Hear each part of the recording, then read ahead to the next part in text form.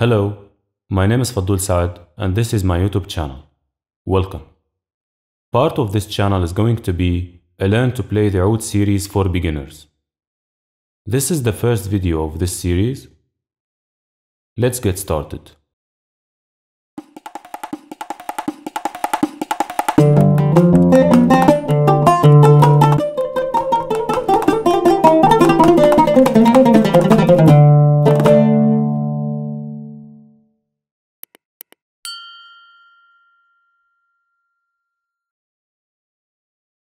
Let me introduce you to the oud parts. As we all know, oud is a wooden instrument. And first we have the back of the oud, the sound box, which is basically a curved wooden ribs that are glued together to form a pear shape. After the sound box, we have the sound board. The soundboard is fixed on the soundbox with braces.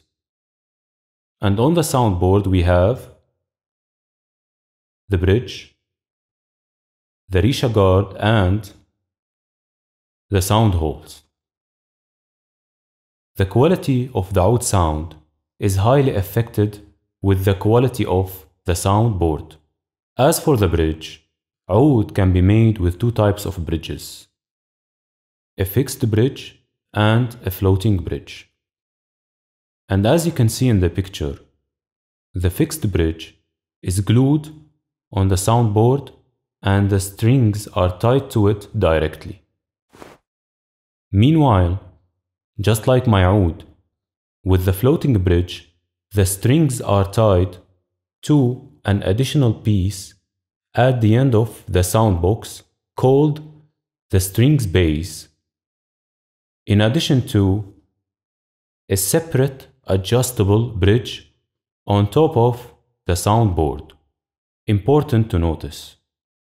Even though the floating bridge is adjustable, but it should be fixed in a specific position, which is located according to the oud dimension and length. After the bridge, we have the Risha guard, which is an important piece that protects the soundboard from any mistaken Risha strokes and at the same time it adds to the oud aesthetic character.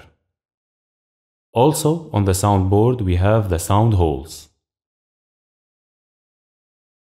which most of the time they are three, a big one and two small ones.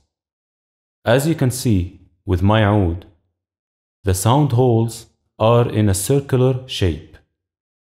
Meanwhile, in other ouds, just like the oud of Professor Munir Bashir, you will find that they are in an ovoid shape. And here we have the neck, where the left hand fingers are placed.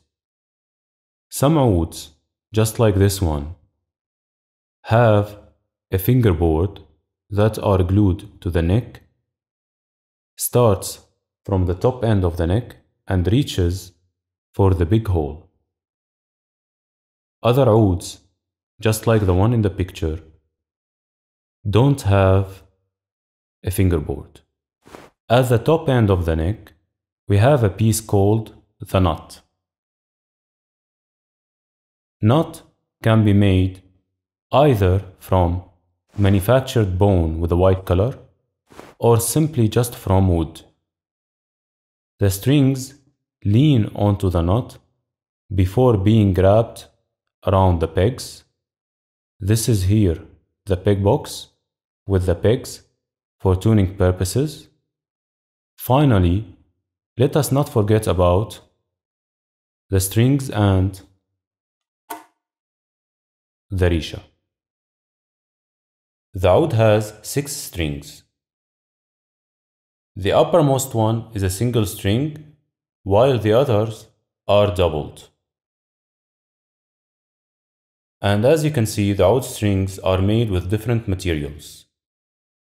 The upper three strings are made with manufactured silk wrapped with one of the following copper, nickel, or silver.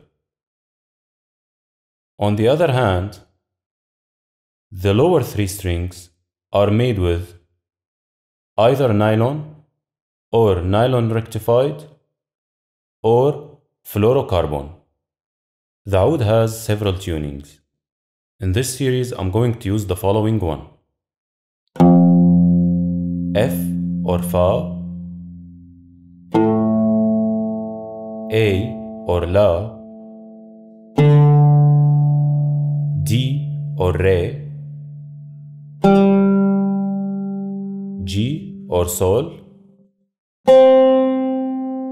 C or Do, F or Fa. That's it for today. In the next lesson, I will teach you how to hold the oud properly. I hope you enjoyed this one. Please give it a like and share it with your friends and don't forget to subscribe to my channel. I guess we will meet in the next one. Have a nice day. Bye bye.